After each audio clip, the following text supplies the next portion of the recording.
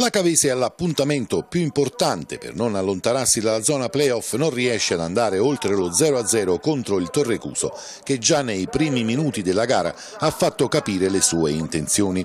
Una prestazione alquanto opaca quella degli Aquilotti di Mister Chietti nonostante le diverse occasioni da rete confezionate durante l'arco della gara. Come già capitato in altre occasioni, dopo 60 secondi la squadra di casa rischia di capitolare. Aracris, marcatosi in aria, tira una prima volta. De Luca in uscita ribatte alla meno peggio. La sfera ritorni ad Aracri che ribatte ancora a rete, ma Manzi, quasi sulla linea di porta, salva.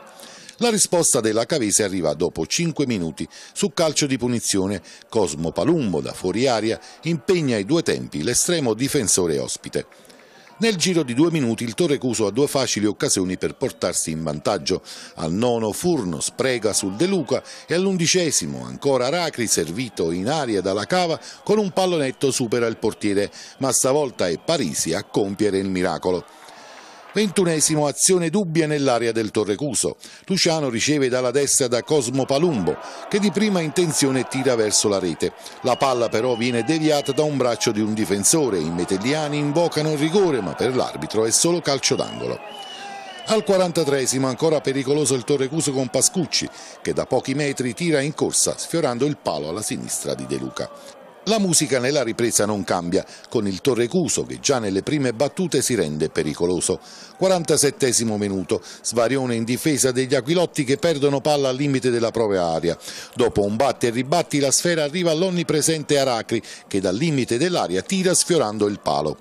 Al cinquantesimo Chietti inserisce De Rosa, reduce da un infortunio per Palumbo, con la speranza di dare più incisività alla manovra, ma non è così.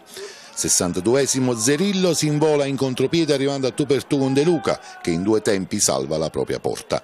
Ancora protesta degli Aquilotti all'84esimo. Silvestro, servito da De Rosa, viene steso in aria, ma l'arbitro ancora una volta dice no. Finisce in parità il derby campano, che allontana anche se solo per il momento la Cavese dalla zona playoff. La sosta del campionato, prevista per domenica prossima, sarà salutare per Mister Chietti che avrà più tempo a disposizione per preparare la difficile trasferta siciliana contro l'Agragas.